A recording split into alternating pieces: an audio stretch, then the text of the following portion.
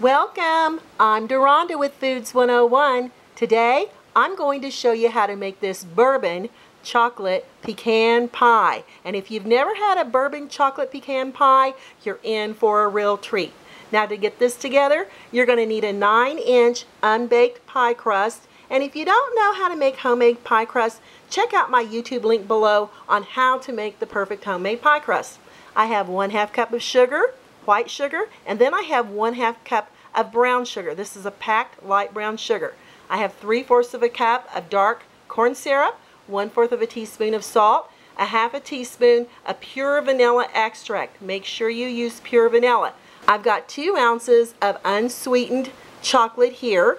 I've got one fourth of a cup of butter, one and one half cup of pecans that are chopped, three eggs, and of course the three tablespoons of bourbon. I'm using a Buffalo Trace bourbon for this recipe. And remember, when alcohol is heated at 170 degrees Fahrenheit, all the alcohol burns off in it. So you're not going to have alcohol in your pie because it's going to bake at a temperature of 350 degrees in the oven for about 40 minutes. First, we're going to add the dark chocolate here into the butter and we're going to melt this on low over here on the oven top. Now, if you want to put it in the microwave, you can do that too. I'm adding my three lightly beaten eggs right here into a large mixing bowl. I'm going to add the half teaspoon of pure vanilla.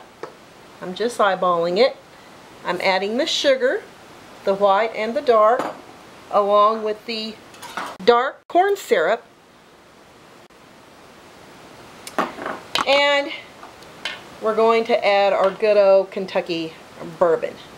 See if I can get this off. Okay, I had to wrap this off and look at here. There's a little cork at the top of this good old Kentucky bourbon we're adding to our bourbon chocolate pecan pie. I thought that was really cool. Oh my goodness, it's powerful. Mm-hmm. But remember that alcohol bakes out, so it will not have any alcohol in it once this pecan pie finishes baking. Now we're going to give this a nice little whisking.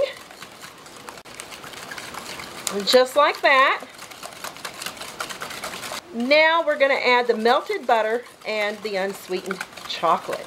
In it goes. Oh my goodness, make sure you get it all out. You want all that chocolate and butter in your, your pie. And don't forget to add the salt. I almost forgot it. And now we're going to whisk this around till it's really nice and well incorporated.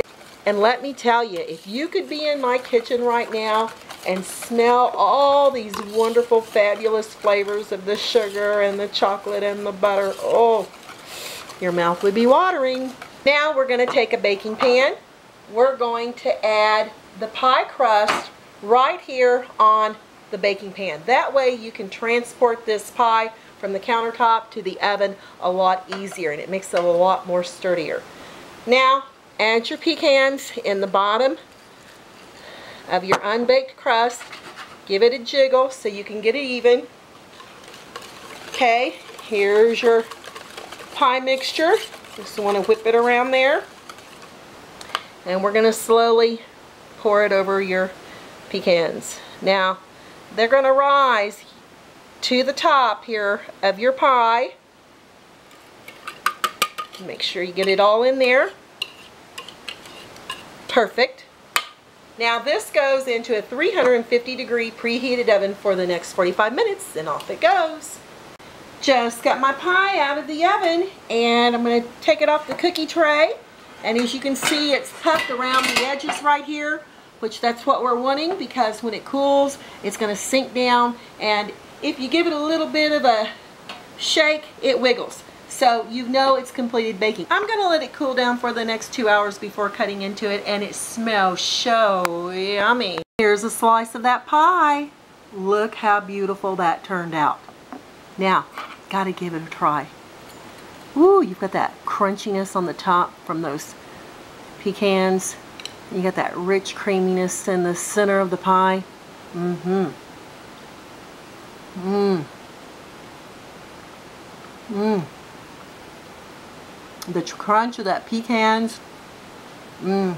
That chocolate with the sweetness of the corn syrup and the two different sugars and that bourbon, it makes this one fantastic pie. Mmm. I don't think you'll be disappointed with this bourbon chocolate pecan pie. Thanks for watching y'all. I'm Deronda with Foods 101 and I'll catch you next time.